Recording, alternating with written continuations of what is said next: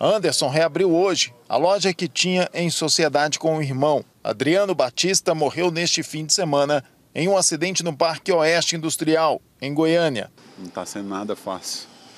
E acho que não vai ser fácil, porque era todo dia junto. Quando a gente, final de semana, não estava junto, estava se falando, mandando mensagem. No sábado mesmo, que a gente trabalha, revezava o sábado, eles um sim, um não. Ele, sábado passado, foi ele que trabalhou. Eu falei com ele até umas duas horas da tarde, ficou mandando mensagem, nós conversando. Aí depois ele foi pro jogo, aí à noite aconteceu, aconteceu. Mas tá dolorido, despedaçado, tô tentando juntar os pedaços para colar, levantar, bater a poeira e levantar e continuar, que eu preciso continuar, né? Michele mora em um prédio ao lado do local onde aconteceu o acidente. Ela chegou a ouvir o barulho da batida. É, assustei, porque assim, poderia ter sido qualquer um de nós, poderia ter sido eu. No grupo teve uma mãe que relatou que estava com as crianças na noite passada e estava chovendo, ela também assustou com a carreta, porque a gente vive essa vida no automático, a carreta preta daquele jeito, num lugar ermo, né, totalmente escuro, realmente a gente não, não lembra que está ali. Poderia ter sido comigo. O acidente aconteceu bem aqui onde nós estamos.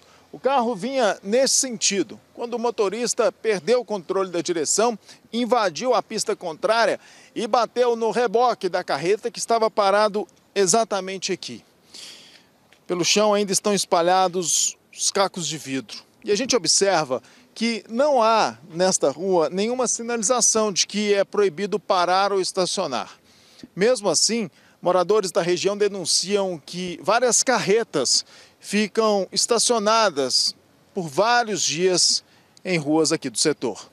Eles sempre colocam aqui, desde quando eu mudei para cá, tem quatro anos, a gente tinha uma carreta aqui estacionada que ficava muito tempo, atrapalhava a gente a passar, é, às vezes carro esbarrava nela. Aí no grupo do condomínio a gente sempre falava, reclamava, né? Mas nada fazia, nada era feito. Muitas carretas, é, às vezes até sem sinalização, como essa estava né? É, como a vizinha disse, é, quando a gente via já estava em cima.